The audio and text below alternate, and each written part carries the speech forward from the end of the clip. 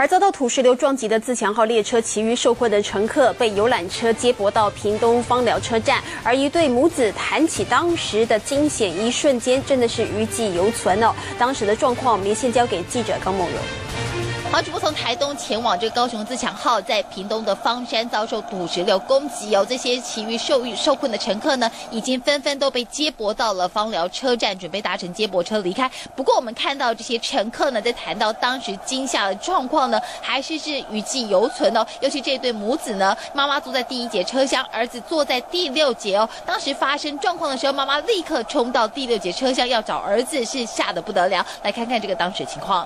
小儿子坐第几节他坐他坐第六，他坐他的号码，然后我担心啊，我走到那个第四车厢的时候，发觉到那个那个第四跟第五那边是整个是错开的，然后没有办法不得其门而入啊。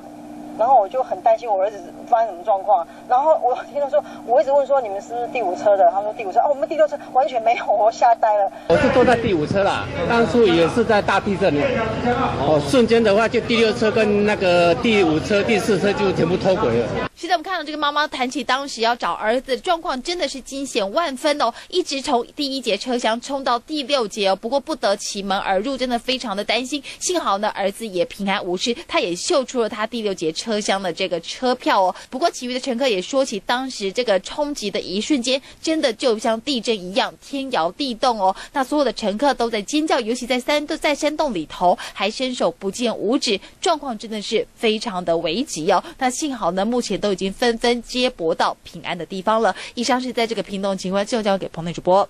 好，我们看到十方八下呢，母亲真的是吓坏了。